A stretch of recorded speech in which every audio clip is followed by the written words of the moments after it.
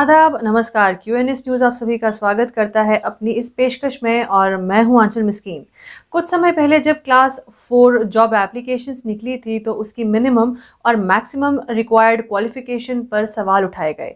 तो जब ये मसला Jammu and Kashmir and Ladakh high court के पास पहुँचा तो इस पर उनका कहना था कि किसी पर्टिकुलर पोस्ट के लिए जो क्वालिफिकेशन स्पेसिफाई की गई है तो ऐसा हो सकता है कि उस पोस्ट के लिए हायर क्वालिफिकेशन के कैंडिडेट्स सूटेबल ना हो। और उस हिसाब से एम्प्लॉयर की समझ से लिया हुआ फैसला जिसमें हायर क्वालिफिकेशन को एक्सक्लूड किया गया है तो वो डेफिनेटली जस्टिफाइड है। रिपोर्ट के अनुसार जस्टिस संजय धर और जस्टिस अली मोहम्मद मागरे की बेंच ने पाया कि क्लास फोर की पोस्ट के लिए मिनिमम और मैक्सिमम क्वालिफिकेशन के क्राइटेरिया में मैट्रिक और टेन प्लस टू को मेंशन करना ना तो इरेशनल है, ना अनरीजनेबल है और ना ही मनमाना है। रिपोर्ट में ये लिखा था कि एसेंशली कोर्ट एक अपीलेंट द्वारा दायर एक लेटर पेटेंट अपील से निपट रहा था, जिसमें सिंगल जज के आदेश पर सवाल उठाया गया था, जिसमें उन्होंने कहा था कि हाई क्वालिफिकेशन वाले एस्पिरेंट्स अप्लाई करने के लिए इसमें एलिजिबल नहीं है, क्योंकि एडवर्टीजमेंट नोटिस मिनिमम और मैक्सिमम क्वालिफिकेशन ऑलरेडी मेंशन कर रहा है। इसके साथ रिट कोर्ट ने घोषित किया था कि अपीलकर्ता जम्मू और कश्मीर पब्लिक सर्विस के एक क्लास फोर के अटेंडेंट पोस्ट के लिए अयोग्य था, यानी ओवर क्वालिफाइड था, और इसीलिए इस कंसर्न पोस्ट के लिए अप्लाई नहीं कर सकता। रिपोर्ट की शुरुआत में ये कहा गया था कि कोर्ट ने इस बात को पहले ही कहा है कि Jammu and Kashmir public service में क्लास फोर के पदों पर नियुक्ति Jammu Kashmir appointment to class four special recruitment rules 2020 के अनुसार ही होनी चाहिए। कोर्ट ने ये भी नोट किया कि एक गवर्नमेंट नोटिफिकेशन जो क्लास फोर के पोस्ट की रिक्रूटमेंट के पर्पस के लिए जारी की जाती है, उसके लिए मिनिमम और मैक्सिमम क्वालिफिकेशन मैट्रिक और टेन प्लस टू होगी। तो यही सेम नोटिफिकेशन इसी एडवर्टीजमेंट नोटिफिकेशन में भी मेंशन किया गया था। इंपॉर्टेंटली किसी स्पेसिफिक पोस्ट के लिए क्वालिफिकेशन स्पेसिफाई करने के लिए एम्प्लॉयर के डिस्क्रिप्शन पर कोर्ट ने कहा कि किसी भी पोस्ट के लिए सूटेबिलिटी और क्वालिफिकेशन एक एम्प्लॉयर को डिसाइड करना होता है और कोर्ट इसमें तब तक इंटरफेयर नहीं कर सकता जब तक ये ना पाया जाए कि पॉलिसी डिसीज़न किसी भी तरह से इरेशनल है या मनमाना है। तो क्लास फोर के अपॉइंटमेंट के इस मसले पर कोर्ट ने ये कहा कि निर्धारित टेन प्लस टू से हायर क्वालिफाइड कैंडिडेट कई कारणों से इस पोस्ट के लिए सूटेबल नहीं हो सकता।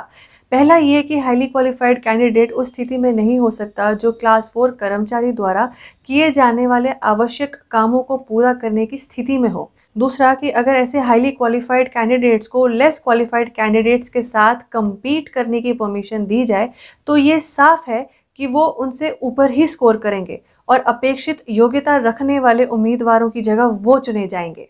और तीसरा कारण ये है कि अगर हाईली क्वालिफाइड एस्पिरेंट्स का सिलेक्शन हो जाता है तो वो हमेशा एक बेहतर नौकरी की तलाश में रहेंगे। और जैसे ही उन्हें कोई बेटर पोस्ट के लिए सिलेक्ट किया जाएगा तो वो उस क्लास फोर की पोस्ट को छोड़ देगा, जिस वजह से सारा सिलेक्शन प्रोसेस यूजलेस हो जाएगा। और फिर वही होगा कि इस स्थिति को नज़र में रखते हुए एम्प्लॉयर को फिर री एडवर्टीजमेंट और रीफिलिंग के प्रोसेस को दोहराना होगा। यानी कि समय और पैसे दोनों की बर्बादी होगी।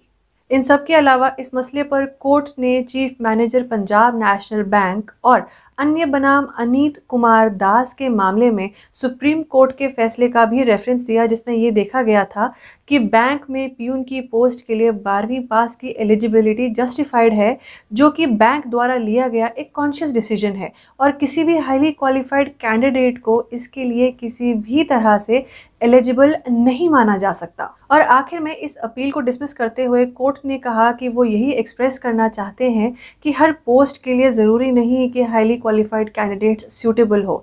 और अगर हाईली क्वालिफाइड कैंडिडेट्स को किसी पोस्ट से एक्सक्लूड किया जाता है तो वो उसे गलत नहीं ठहराया जा सकता और ना ही उसे इलीगल या विकृत कहा जाएगा।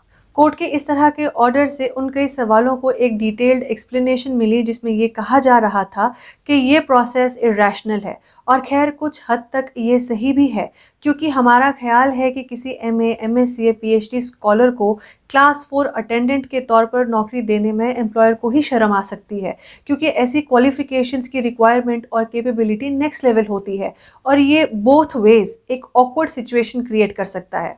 पर हाँ यहाँ ये कहना ज़रूरी है कि अगर ये सिचुएशन आज आ रही है तो इसका कारण अनएम्प्लॉयमेंट और लैक ऑफ़ जॉब अपॉर्चुनिटीज़ है। और हमने हमारे कल के ही रिपोर्ट में ये बात बताई कि अकेले जम्मू कश्मीर का unemployment rate national unemployment rate से कहीं ज़्यादा है, यानी 22.2 परसेंट है। तभी हाईली क्वालिफाइड कैंडिडेट्स मजबूर हैं। इस सिचुएशन को सरकार ही जॉब अपॉर्चुनिटीज़ क्रिएट करके ठीक कर सकता है।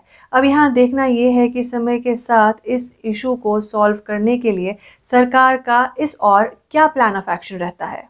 तो इसी बात के साथ दोस्तों, हमारी आज की इस रिपोर्ट में सिर्फ़ इतना ही। हम फिर हाजिर होंगे आप सभी के सामने किसी और मुद्दे के साथ। तब तक के लिए, बाकी खबरों के लिए आप सभी बने रहिए क्यू एन एस न्यूज़ के साथ और मुझे दीजिए इजाज़त। नमस्कार।